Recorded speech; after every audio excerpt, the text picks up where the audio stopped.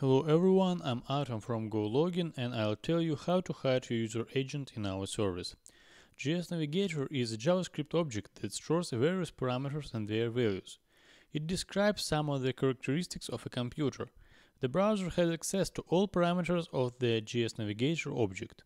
This data can be used to identify users. Based on this, websites can use these parameters to track and fingerprint them. So, how can you change JS Navigator in GoLogin?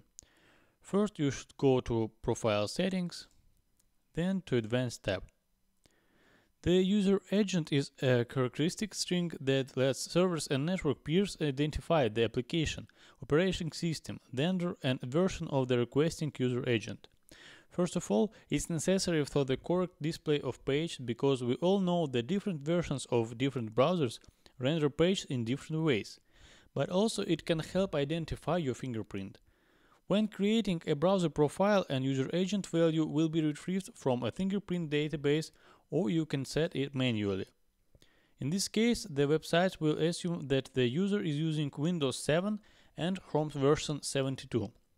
You can see the parameters of the user agent on our site in the Support tab. Link in the description. The platform property is a navigator object parameter which tells for which platform the browser was compiled. When creating a browser profile, a platform value is retrieved together with an user agent.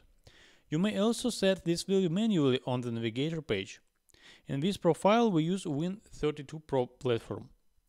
If you decide to configure user agent or platform manually, make sure to set a corresponding user agent and platform values.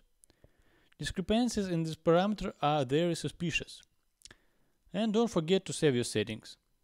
I hope I helped you, but if you still have any questions or suggestions, write a comment and I'll definitely answer you. Thanks for watching.